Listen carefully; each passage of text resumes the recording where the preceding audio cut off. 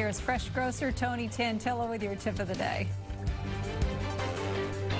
Well, today's tip of the day, purple cauliflower. That's right, it's cauliflower time. And this is naked purple cauliflower. You know what naked means in the produce terms?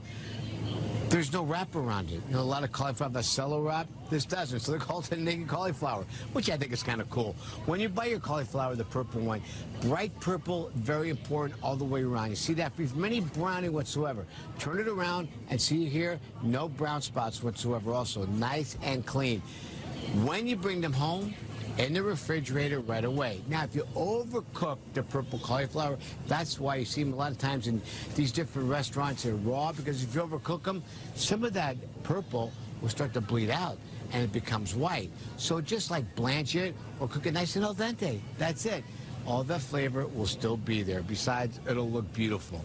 And I'm Tony Tantillo, your fresh grocer. Oh, by the way, did I tell you it's great for us cauliflower? And always remember to eat fresh and stay healthy. It kind of goes with my shirt, doesn't it?